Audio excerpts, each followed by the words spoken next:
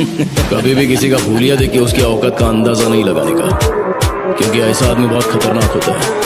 भूलिया ही बदल डालता है।